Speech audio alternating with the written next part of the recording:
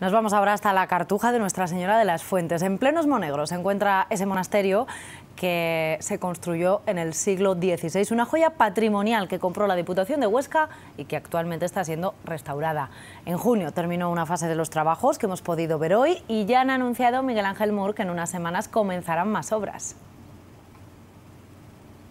Sí, las obras de la primera fase ya han terminado. La Diputación de momento ya ha invertido más de 600.000 euros. Se ha actuado sobre todo en la parte exterior de la cartuja. Estamos hablando de unos 800 metros cuadrados de cubiertas y a partir de octubre podrían comenzar nuevas obras que se prolongarían hasta la primavera de 2017. También se ha comenzado a trabajar en el plan director de esta cartuja que definiría los posibles usos futuros. Mientras tanto, las visitas guiadas a esta Cartuja continuarán los sábados y domingos y durante los meses de julio y agosto por aquí han pasado más de 600 personas, entre ellas personas venidas de otros países como de Reino Unido y Francia.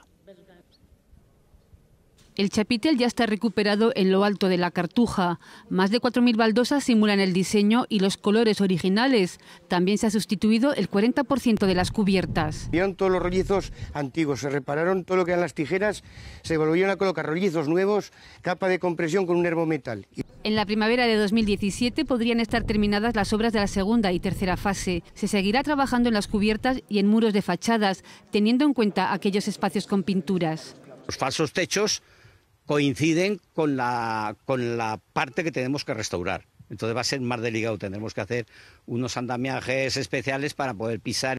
Las visitas guiadas a este conjunto histórico continuarán hasta diciembre los sábados y domingos y se valorarán modificaciones para el año que viene no dicen más que cosas positivas de lo que es este monumento, lo cual nos da pie y nos da fuerza para seguir en, la rehabilitación del mismo y en sacarle todo el rendimiento, aparte de que todo el mundo lo pueda conocer y lo pueda visitar.